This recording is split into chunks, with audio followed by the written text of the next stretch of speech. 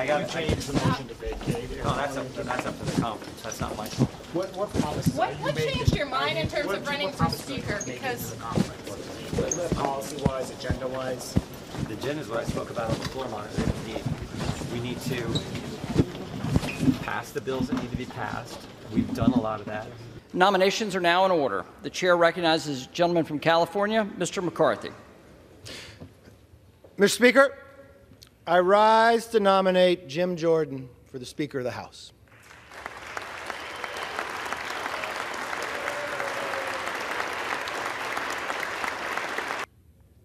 Trust me, being Speaker is not an easy job, especially in this conference.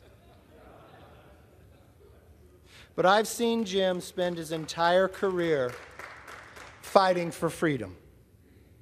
No matter what, no matter the odds, and I know he is ready for the job.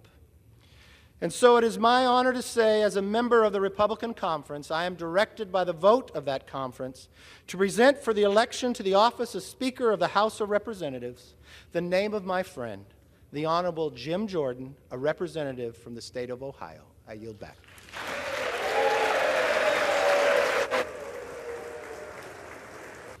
The chair now recognizes the gentlewoman from Massachusetts, Ms. Clark. Every day, the majority chooses to engage in a Republican civil war that is threatening their own members instead of engaging with us in the work of the American people is a day that weakens this institution and the standing of our country. We need a speaker who will govern through consensus, not conflict. We need a speaker worthy of wielding that gavel, a leader who will defend democracy, not degrade it. More than ever, we need proven, patriotic, people first leadership. And that is why I am proud to nominate Hakeem Jeffries as Speaker of the House.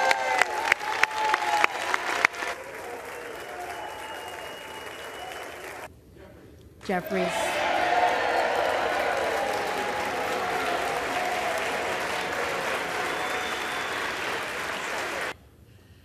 Jordan.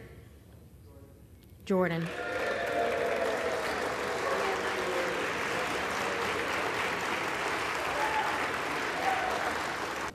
The tellers agree in their tally that the total number of votes cast is 429, of which the Honorable Jim Jordan of the state of Ohio has received 194. The Honorable Hakeem Jeffries of the state of New York has received 210.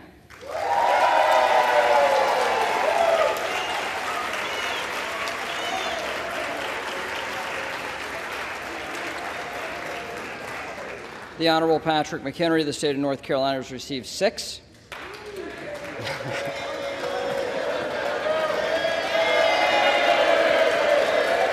All right, the House will come to order. The House will come to order. The Honorable Byron Donalds is, of the state of Florida has received two. The Honorable Tom Emmer of the state of Minnesota has received one. Lee Zeldin of the state of New York has received four. The Honorable Steve Scalise of the state of Louisiana has received eight. The Honorable Mike Garcia of the state of California has received one. The Honorable Kevin McCarthy of the state of California has received two. The Honorable Bruce Westerman of the state of Arkansas has received one. No person having received a majority of the whole number of votes cast by surname, a speaker has not been elected. Pursuant to Clause 12A of Rule 1, the chair declares the House in recess, subject to the call of the chair. House Democrats have repeatedly made clear we want to find a bipartisan path forward. Leader Jeffries. At every step of the way, Republicans have rejected bipartisanship and embraced extremism. Jim Jordan is a clear and present danger to our democracy. He wants to end Social Security as we know it. He wants to end Medicare as we know it. Doesn't believe that President Biden was elected in 2020.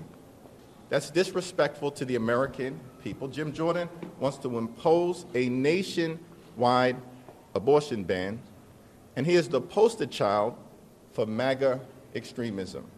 We are saying to our traditional Republican colleagues, good men and women on the other side of the aisle, in the attachment to the extremist Jim Jordan and join with Democrats in finding a bipartisan path forward. Well, there are still reasonable Republicans over on the other side of the aisle, as I've repeatedly said, good men and women who want the House reopened, who want the Congress to function.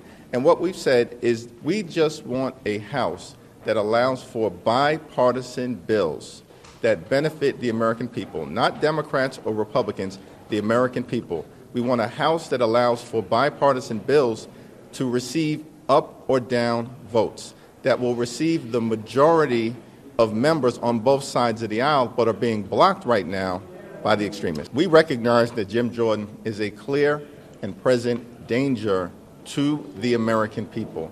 And we are going to be here for as long as it takes to end this national nightmare. I've said repeatedly that there are many Republicans on the other side of the aisle who we believe are good Americans, good patriots, good men and women. Patrick McHenry is one of them. There are others. Who created Jim Jordan?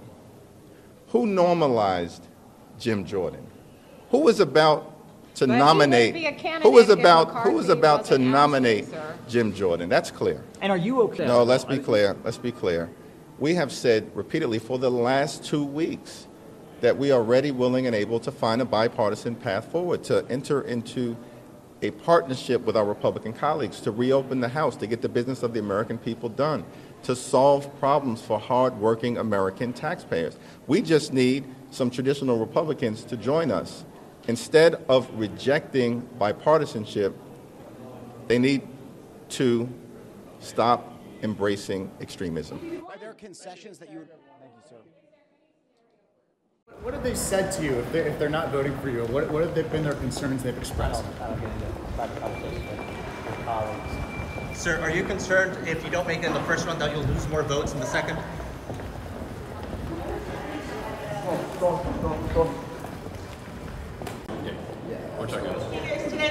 Hey, back up, guys.